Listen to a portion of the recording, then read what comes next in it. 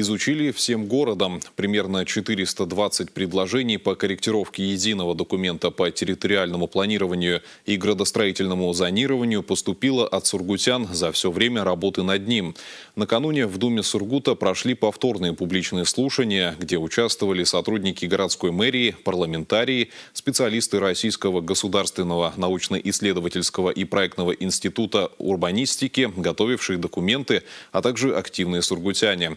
Жители нашего муниципалитета ознакомились с предложенным генпланом на ближайшие 20 лет, отметили некоторые, на их взгляд, неточности и озвучили свои мысли на встрече. Мы как бы просим рассмотреть вопрос в отношении э, больших, довольно-таки больших земельных участков, где разрешенного использования которого все-таки промышленность э, э, строительства, а изменить, установить не АГО-1, а АГО-2, либо АГО-3. У меня к уважаемым проектировщикам есть пожелание такое.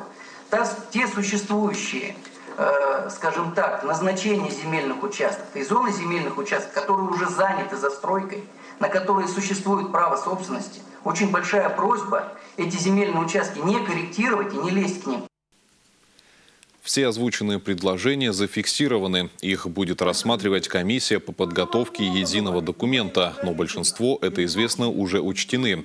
К слову, при составлении его исполнители из научно-исследовательского института перспективного градостроительства в презентации предварительного проекта для Сургута обозначили, что через 20 лет в нашем городе будет проживать примерно 570 тысяч человек. И за этот период времени в муниципалитете должно быть построено 51 школа, школа, 4 станции скорой помощи, 13 бассейнов. Но вместе с тем, по мнению специалистов, требуется эффективно использовать уже застроенные территории. Возводить современную инфраструктуру необходимо и там, где уже стоят различные объекты. Туда люди пришли подготовленные, задавали конкретные вопросы. Большая из них часть имела ну, вполне практический смысл. Были значительные корректировки генеральный план. И то, что проект мы видели сегодня, он э, отличается, на мой взгляд, в лучшую сторону от того, что мы видели весной. Например, э, это то, чтобы э, все-таки гаражи сейчас не трогать, оставить в той зоне, которая есть.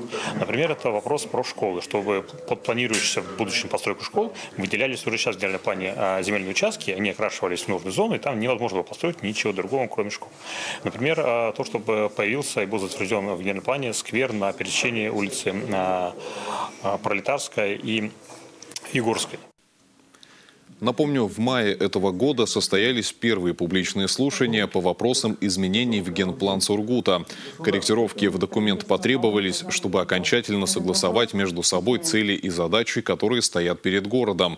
До 7 сентября комиссия ожидается выдаст заключения по итогам прошедших заседаний. Затем в течение 20 дней документ появится в федеральной информационной системе.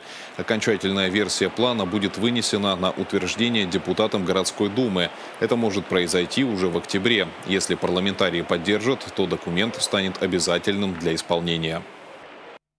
Генеральный план – одна из стадий, одна из этапов – это комплексной работы по актуализации э, документов стратегического планирования, документов территориального планирования, правил землепользования застройки. А в том числе далее мы планируем реализовывать за счет мероприятий, предусмотренных генеральным планом, основные флагманские проекты, предусмотренные стратегии развития города. Также формировать э, муниципальные программы для того, чтобы э, то, что мы напланировали в стратегии, в генеральном плане, как некая проекция этих мероприятий на территорию, чтобы мы могли реализовывать уже и понимать источники финансирования и календарные сроки исполнения основных решений генерального плана.